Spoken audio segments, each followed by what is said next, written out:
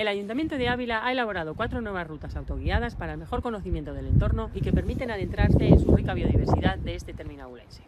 Con el entorno del Camino del Molino de Brieva, el pico de Valdihuelo en Urraca, el paraje entre Gordillo y Sonsoles y en este que nos encontramos de la Alamedilla del Berrocal, son cuatro las iniciativas que ha puesto en marcha el Ayuntamiento de Ávila en un proyecto cofinanciado con la Junta de Castilla y León.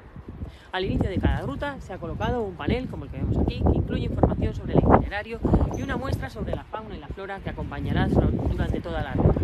Todo ello se completa con un código QR que puede ser utilizado para ampliar la información. Ante la ruta se han colocado también balizas que indican dirección del itinerario y van acompañadas también del código QR que les ofrece más información.